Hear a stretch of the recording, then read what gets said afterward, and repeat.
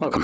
In front of me is a Samsung Galaxy A01 core and today I'll show you how to enable and set up the do not disturb mode. Now unfortunately there is no toggle in the notification panel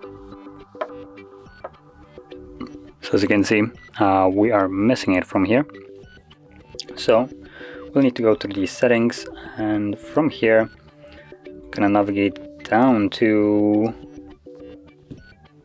apps and notifications. Nope.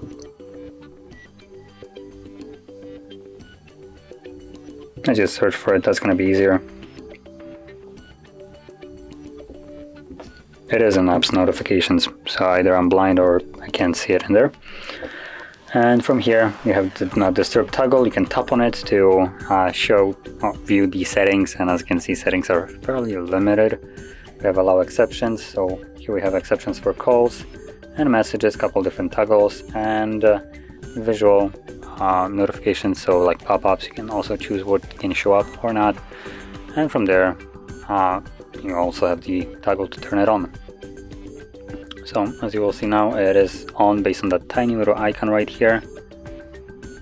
And it would be nice if I can pull down the notification panel and still the toggle didn't show up. Okay, so unfortunately to turn it on and off, you'll need to go to the settings and always turn it on from here and off, which isn't necessarily the most convenient, but that is the only way to do it.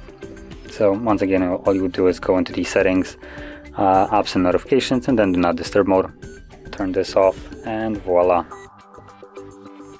So, if you found this very helpful, don't forget to hit like, subscribe, and thanks for watching.